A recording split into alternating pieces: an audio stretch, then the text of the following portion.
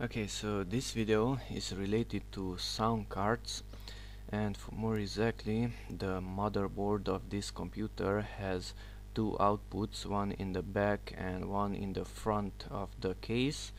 And I want to use the microphone and the speaker on the front panel but in control panel let's go there.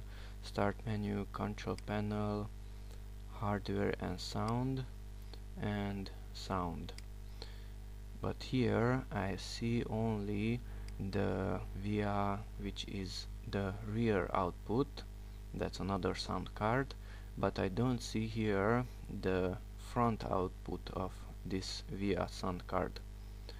Okay so to enable that one the sound card driver that VIA in the driver package has a program called vdeck.exe this one start that program. It should have an icon here this black one VIA HD audio deck okay now let's go to expert mode and click this advanced options this tool.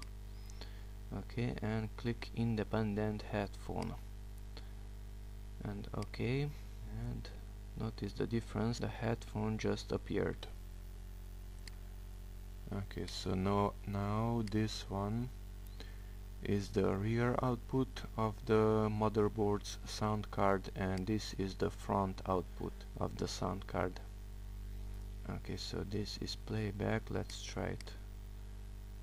Set as default device. So now the sound should go to the rear output and set as default device. Now it should go to the front output of the sound card. Okay that's it. Thanks for watching. Bye bye